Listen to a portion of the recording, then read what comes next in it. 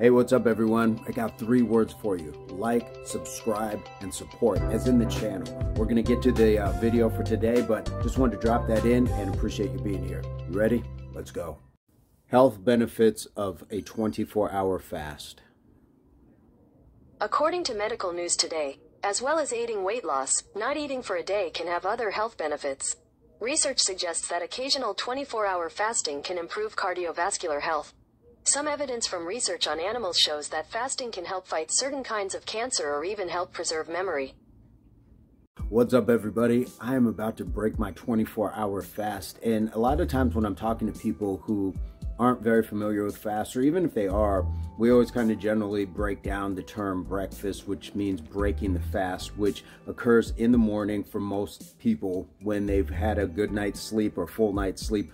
Uh, not ingesting food, and then they wake up and then they eat. That is breaking the fast, the fast of not having food. So, a lot of times where I will piggyback off of that is, and the advice that I give and what worked for me with my first fast is I had woken up from a long sleep.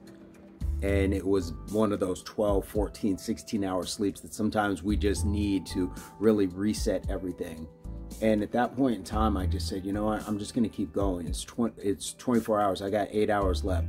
The first thing that I had to do was adjust my mind to start thinking of other things than I need food. Now, I had water, and a good amount of water will, you know, suppress the appetite, but still we have a habit of wanting to eat, eat, not just drink, especially when we're just talking about it just being water. So there's that part to overcome, but it's a great challenge psychologically to be able to overcome. Physically, you're going to reap a lot of benefits.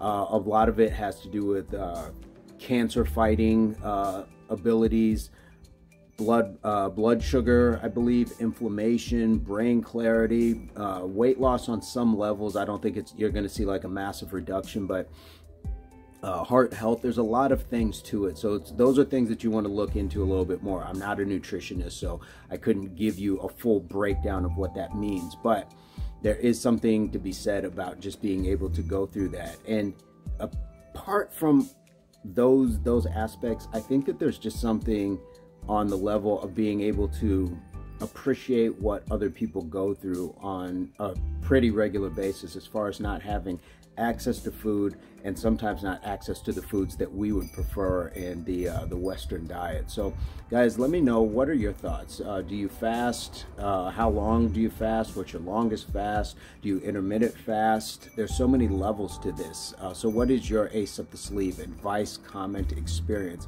Would love to have you in the uh, in the comments. And as always, I hope this finds everybody in their place, pursuit, or beginnings of total health, mind, body, and soul.